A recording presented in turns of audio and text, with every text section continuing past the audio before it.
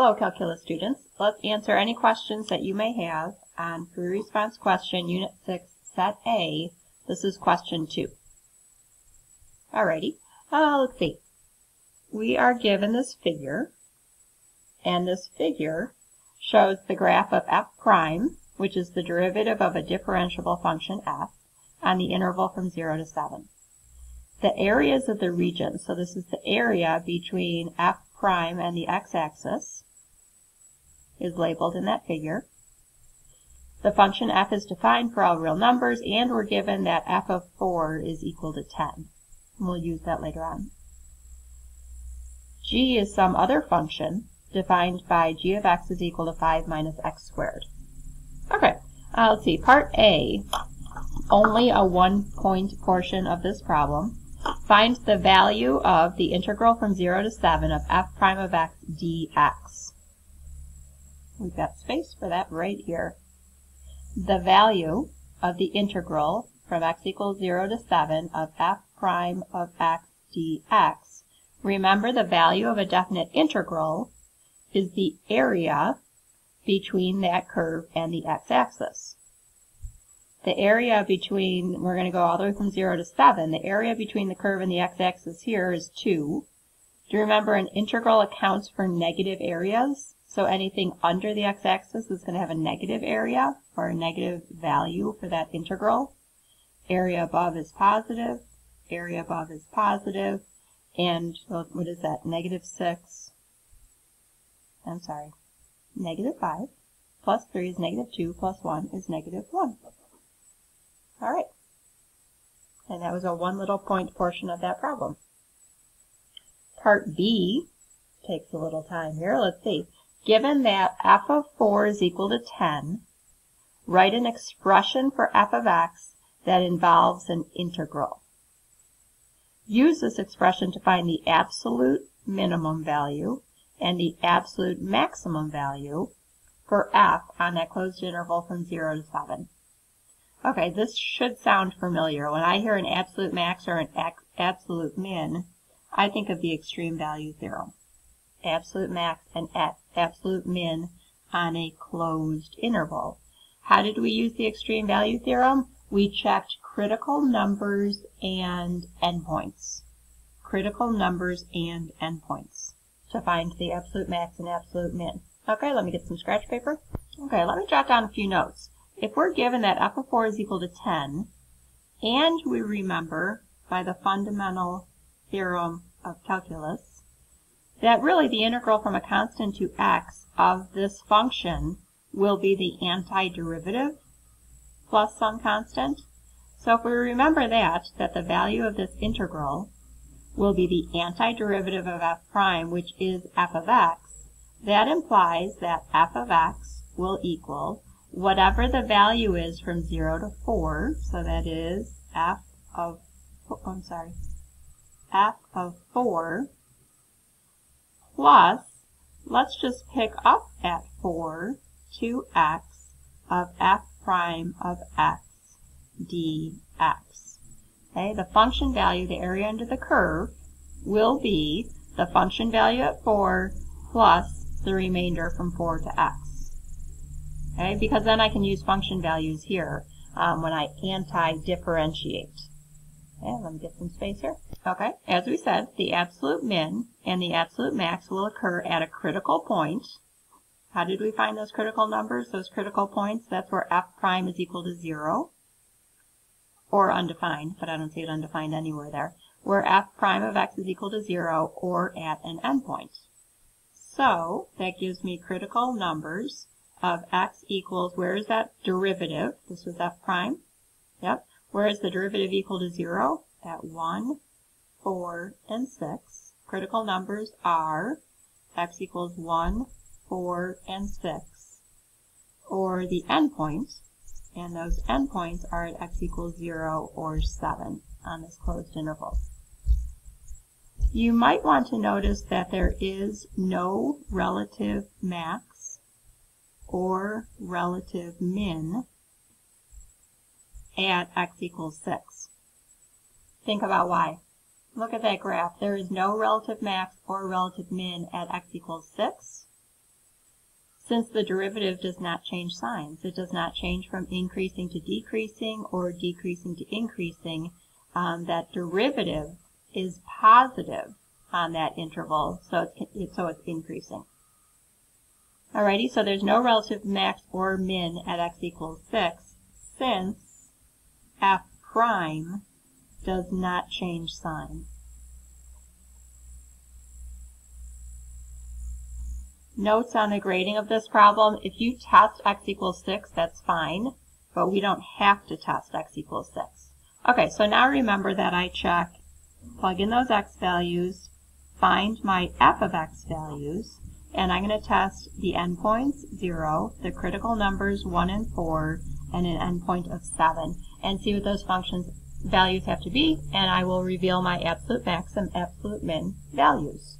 Okay, what is f of 0, the function value? I can use this up here.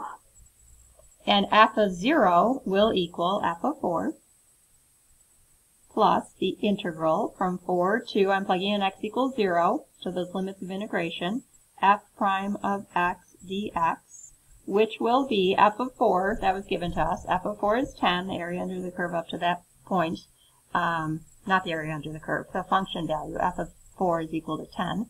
And let's see, plus, I don't like those limits of integration going large to small, so I'm going to change the sign and go from 0 to 4 of f prime of x dx. Okay, now I can use my graph because this will be 10 minus what is the value of the integral? Remember that's going backwards to my function value, antiderivative, and from 0 to 4, area from 0 to 1 is positive, that's 2, negative after that, negative 7, and, oopsies, 10 minus, positive above the axis, negative below, that is 10 minus 2 minus 7, which is a negative 5, and I get a value, function value of 15.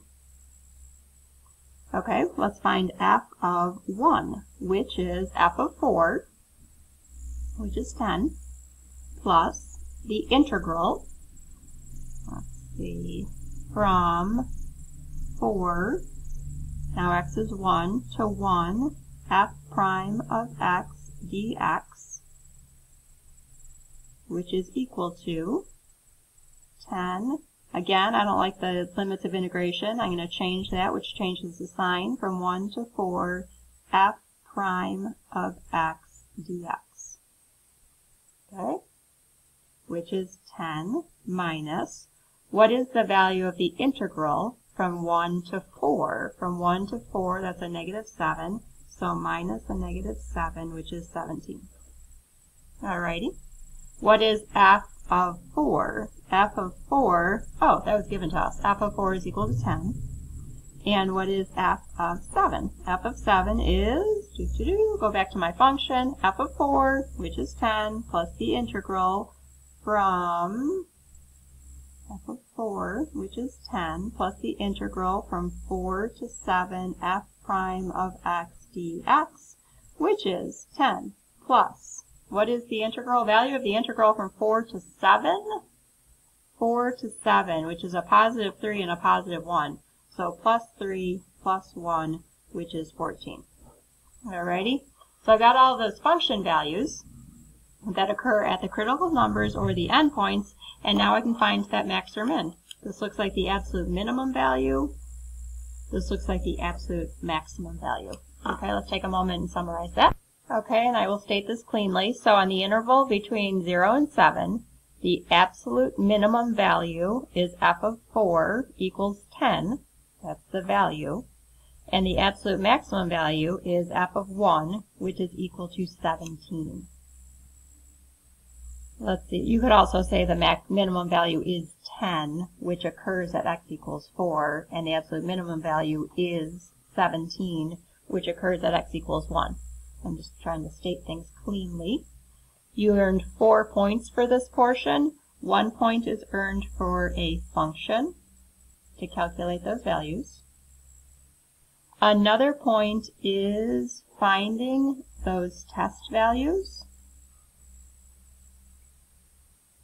Again, with or without 6, that's okay. And then you earned 2 points for the absolute max and the absolute min with supporting work. Alrighty, take a moment refresh your memory on part C.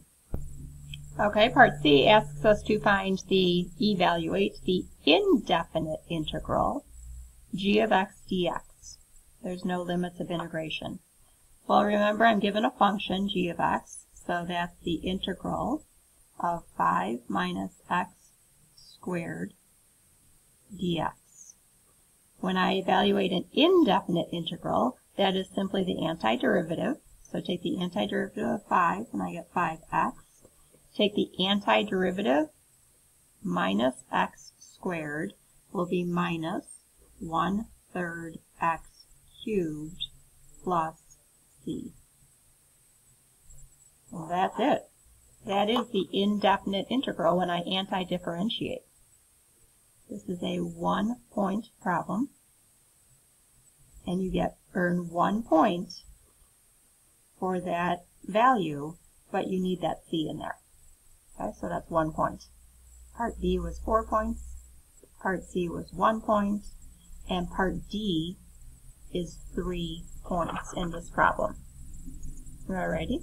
Let's look at D. Find the value of the definite integral from 1 to 2 of x times f prime of g of x dx. Okay, so I'm asked to evaluate this definite integral. Remember what g of x is. That's the integral from 1 to 2 of x times f prime g of x, which was 5 minus x squared dx. All right, now I need to anti-differentiate that thing inside. Ugh, this is messy because of that inner function. Ah, so going to use the little u substitution.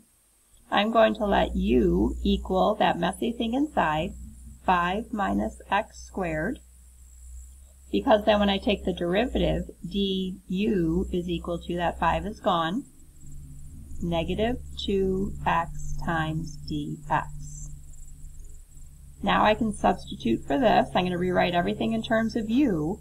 x times dx, let me get that by itself. I'm going to divide both sides by negative 2. And I get negative 1 half du is equal to x dx. Okay, now I can make a substitution. This becomes, yeah, okay. all right, this becomes the integral, oopsies,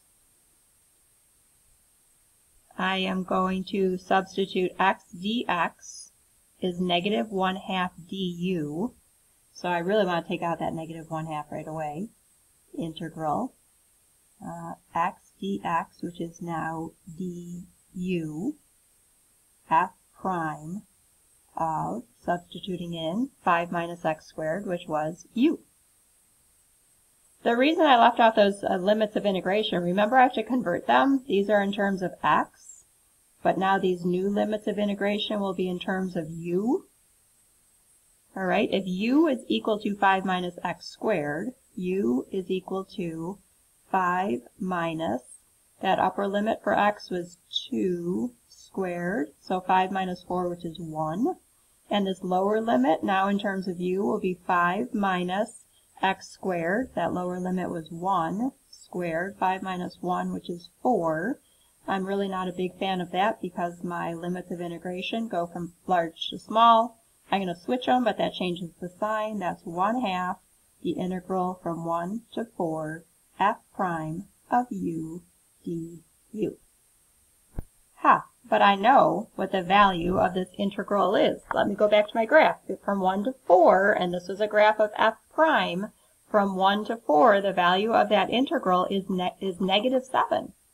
So this becomes 1 half times negative 7, which is negative 7 halves. Ha! In this three-point portion of a problem, you got one point for a correct u substitution. You earned one point for rewriting your integral in terms of u, and you got one point for the correct answer. Thanks for watching. Take care.